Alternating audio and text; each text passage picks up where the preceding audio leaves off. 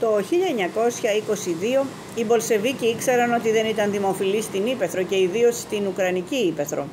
Οι επιτάξεις των τροφίμων είχαν οδηγήσει σε ελλείψεις τροφίμων, σε διαμαρτυρίες και τελικά σε λιμοκτονία σε όλη την ιογέννητη ΕΣΔΑ.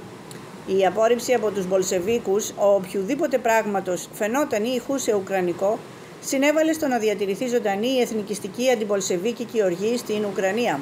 Κατά συνέπεια, το καθεστώς άλλαξε πορεία και υιοθέτησε δύο θεαματικά καινούριες πολιτικές, με τις οποίες στόχευε να ανακτήσει την υποστήριξη των δίστροπων σοβιετικών αγροτών και ιδίως των Ουκρανών αγροτών με εθνικιστικά αισθήματα. Η γνωστότερη από τις δύο αυτές πολιτικές είναι η νέα οικονομική πολιτική του Λένιν, η οποία έβαλε τέλος στην υποχρεωτική συγκέντρωση σιτηρών και νομιμοποίησε προσωρινά το ελεύθερο εμπόριο. Όμως, το 1923 η Μόσχα εγγενίασε επίσης μια νέα πολιτική για τις εθνότητες, κορενιζάτσια, που απευθυνόταν στις μη ρωσικές μειονότητες του Σοβιετικού Ομοσπονδιακού κράτους.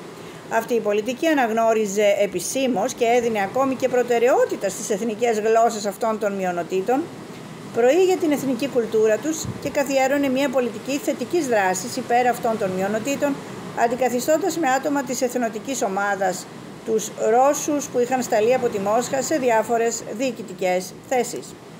Στην Ουκρανία αυτή η πολιτική έγινε γνωστή ως Ουκρανοποίηση, λέξη την οποία είχε επινοήσει ο Χρουσέφτσκι, ο οποίος το 1907 είχε ζητήσει την Ουκρανοποίηση του ρωσόφωνου κρατικού μηχανισμού.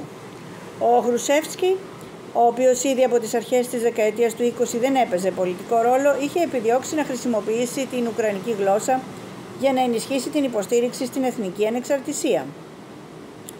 Ο στόχος της πολιτικής του Λένιν το 1923 ήταν ακριβώς το αντίθετο. Ήλπιζε ότι με αυτόν τον τρόπο θα έκανε τη Σοβιετική εξουσία να φαίνεται λιγότερο ξένη στους Ουκρανούς και έτσι θα περιόριζε κάπως τις απαιτήσεις τους για κυριαρχία.